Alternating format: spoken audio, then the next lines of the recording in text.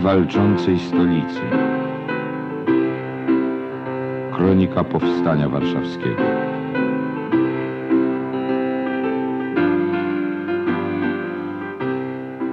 Poniedziałek, 14 sierpnia 1944 roku, powstania dzień 14. Głównym punktem natężenia walk w Warszawie jest teraz Stare Miasto. Niemcy kontynuują tu rozpoczęte poprzedniego dnia natarcie od strony zachodniej. Po huraganowym przygotowaniu artyleryjskim uderzają od Leszna przez Tłomackie w kierunku Bielańskiej. Trwa zaciekła walka o barykadę zamykającą ulicę Tłomackie i o stację telefonów na Tłomackiem. Barykadę utraconą przed południem odzyskują powstańcy po południu, aby ją w następnych godzinach ostatecznie utracić. W innych częściach Starego Miasta utrzymano bronione pozycje. Odparto uderzenie na ulicy Bugaj, zniszczono jeden czołg przed Pałacem Blanka, a drugi u zbiegu Miodowej i Senatorskiej. Toczą się bardzo ciężkie walki o zabudowania Zamku Królewskiego, w których Niemcy usadowieni są mocno od strony Nowego Zjazdu. W obronie staromiejskiej dzielnicy poważną rolę odgrywają wycofane tu w poprzednich dniach z woli oddziały Kedywu. Jednym z żołnierzy tych oddziałów, dowódcą drużyny w pierwszej kompanii batalionu Parasol, był podchorąży Józef Szczepański, Ziutek, popularny poeta i pieśniarz batalionu, którego powstańcza twórczość zyskała sobie na Woli, Starym Mieście, a potem i w innych dzielnicach walczącego miasta wielką popularność, napisał innymi piosenkę Chłopcy silni jak stal, zwaną również niekiedy szturmówką parasola.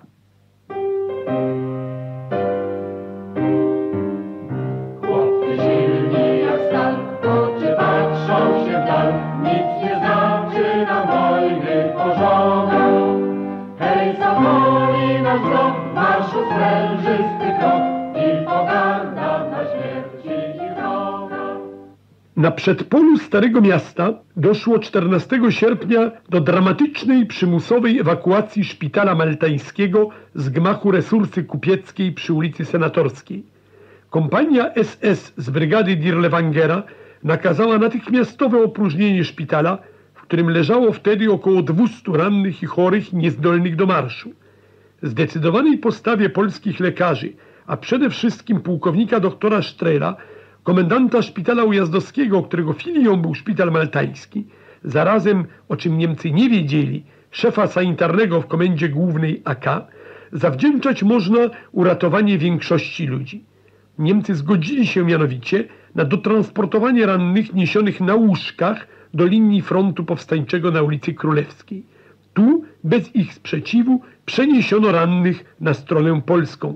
I tak szpital maltański, nadzwyczajnym wprost rządzeniem losu, uniknął tragedii, która była udziałem większości szpitali powstańczych na Woli i na Starym Mieście. Zarządzenie Okręgowej Delegatury Rządu. W związku z wybuchem czołgu przy ulicy Kilińskiego i Podwale poleca się placówkom OPL i ludności okolicznych domów przejrzeć w obrębie wypadku place, gruz, podwórza, dachy itd. celem usunięcia części rozerwanych ciał, które mogły się tam znaleźć i nie zostały dotąd zebrane. Zwraca się uwagę na konieczność skrupulatnego wykonania powyższego zarządzenia celem niedopuszczenia do rozkładu ciał i możliwości powstania epidemii chorób.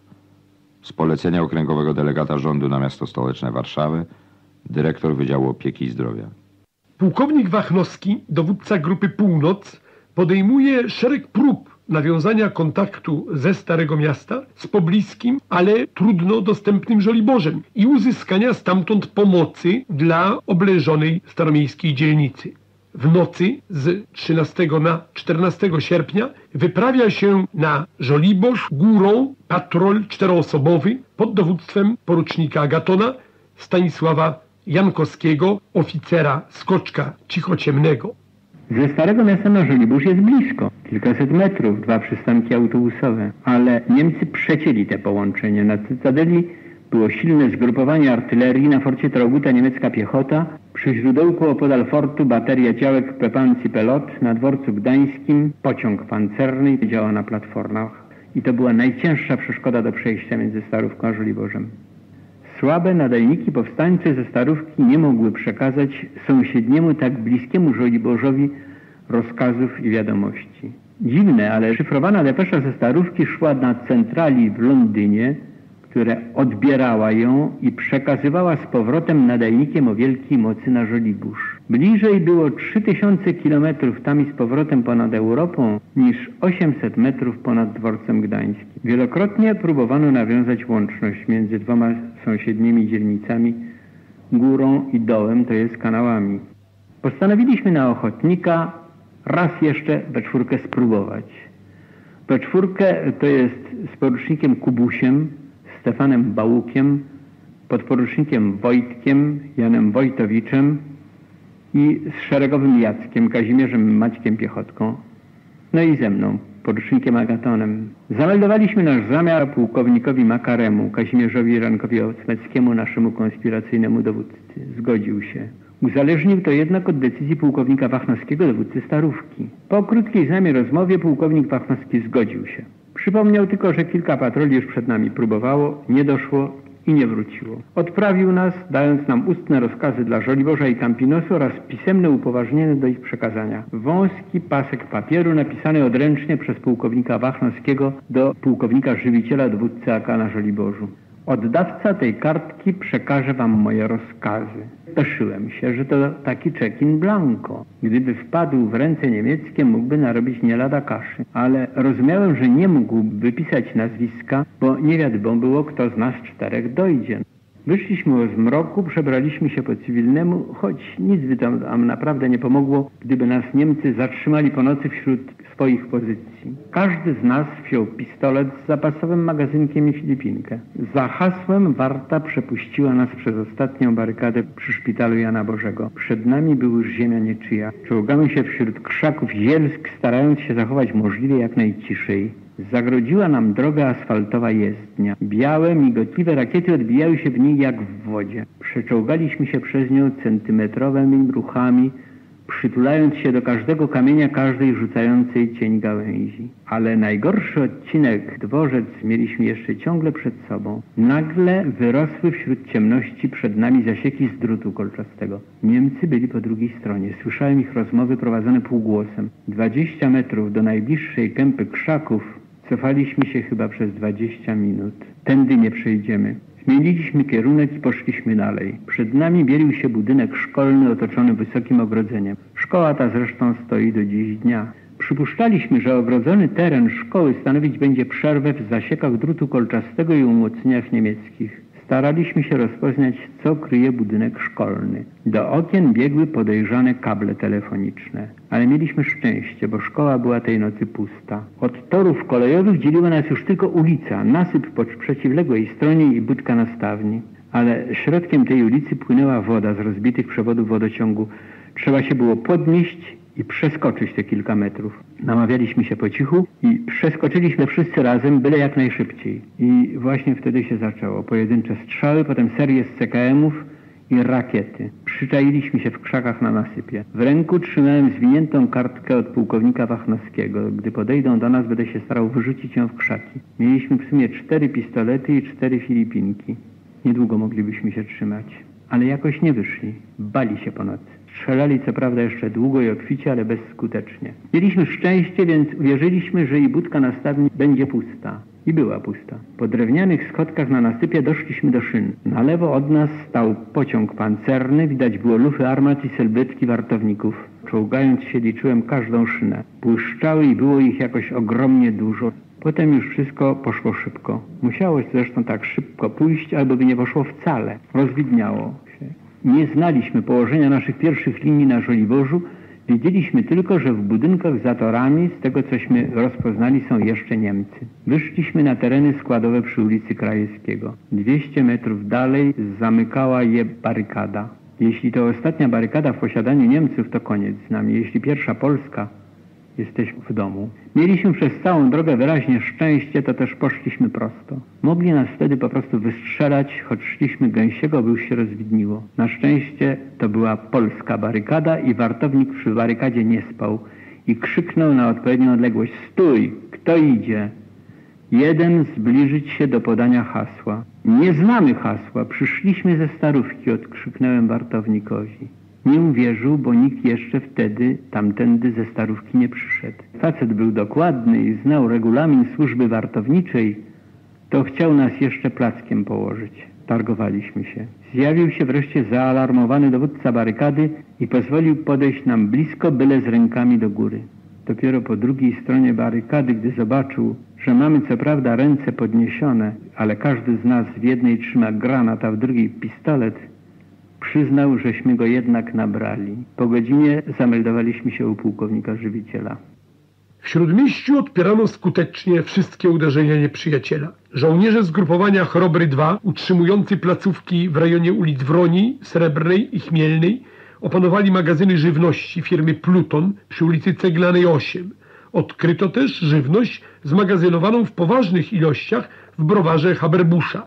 W południowej części Śródmieścia z dachu Urzędu Telekomunikacyjnego Róg Poznański i Nowogrodzkiej nieprzyjaciel ostrzeliwał silnym ogniem z CKM oraz granatami zapalającymi sąsiednie barykady, a także ulice położone pomiędzy Poznańską a Alejami Ujazdowskimi.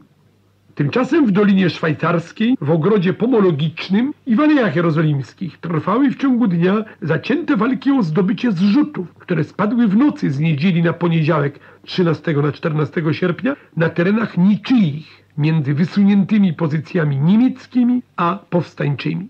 Na Mokotowie natarcia oddziałów powstańczych Baszty, na obsadzony przez Niemców blok domów przy ulicy Dworkowej, na tak zwany dom Wedla, na Pułaski Róg Madalińskiego i na szkołę Róg Kazimierzowskiej i Narbuta załamywały się kilkakrotnie z dużymi stratami powstańców. W nocy z 13 na 14 sierpnia kompanie B1, B2 i K2 pułku Baszta podjęły po raz ostatni próbę zdobycia domu Wedla i szkoły na rogu Kazimierzowskiej i Narbuta. Opowiada o tym uczestnik tego natarcia, podchorąży Jerzy Kłoczowski, Piotruś, wówczas dowódca plutonu w pierwszej kompanii batalionu Bałtyk pułku Baszta, obecnie profesor historii Katolickiego Uniwersytetu Lubelskiego.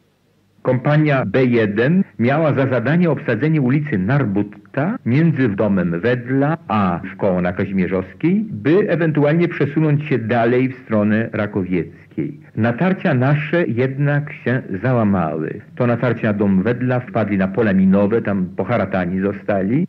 Natarcie na szkołę też się nie udało, była tak ogromna przewaga ogniowa Niemców, że po prostu nie udało się jej opanować i wtedy zaczęły się nasze oddziały wycofywać. Kompania nasza została jednak odcięta. Niemcy położyli zaporę karabinów maszynowych na ulicy Madalińskiego w ten sposób, że po prostu nie można było tej ulicy Madalińskiego przeskoczyć i koło 60 ludzi zostało po drugiej stronie, pod ostrzałem z wszystkich stron. Wtedy sam podjąłem inicjatywę, jako jeden z dowódców tam, który pozostał i roniliśmy się w grupie domów przy ulicy Narbutta, blisko szkoły na Kazimierzowskiej. I Niemcy podjęli wtedy atak z wszystkich stron na te właśnie domy, czołgów, karabinów maszynowych, że właściwie byśmy tam nie mogli się nawet odezwać. Nasz jeden karabin maszynowy mogli się nie mógł odezwać właściwie Niemcom. Myśmy tylko od ognia ratowali i baliśmy się czołgów, które powiedzmy z różnych stron nas tam atakowały.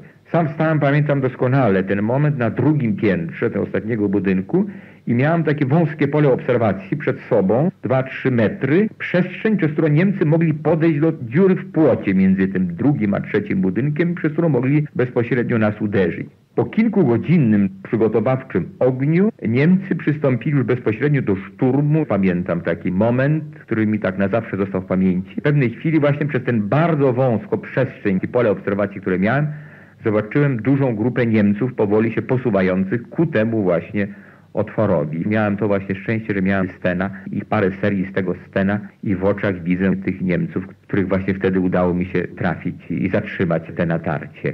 Wtedy już tego natarcia nie kontynuowali bezpośrednio, wycofali się z tego. Był ten jeszcze obstrwał jakiś czas, ale już do nas tam nie doszli. Dopiero nad wieczorem oblężenie się zakończyło. Nasze straty były właściwie nieduże. Kilku zabitych, kilku rannych, oddział jednak około 60 ludzi w sumie. I pod osłoną nocy mogliśmy wrócić na swoje pozycje. Żyli i, cali jeszcze z jakoś tam zdobyczą, bo potem na tym polu bitwy nawet znaleźliśmy troszkę amunicji, nawet trochę jakiejś broni. 14 sierpnia o godzinie 10.30 dowódca Armii Krajowej wydaje do dowódców okręgów sąsiadujących z Warszawą rozkaz. Dowódca Armii Krajowej do oddziałów w terenie. Walka o Warszawę przeciąga się. Prowadzona jest przeciw wielkiej przewadze nieprzyjaciela. Położenie wymaga niezwłocznego marszu na pomoc stolicy. Nakazuję skierować natychmiast najbardziej pośpiesznymi marszami wszystkie rozporządzalne, dobrze uzbrojone jednostki z zadaniem bicia sił nieprzyjaciela znajdujących się na peryferiach i przedmieściach Warszawy i wkroczenia do walki wewnątrz miasta. Dowódca Armii Krajowej Burr.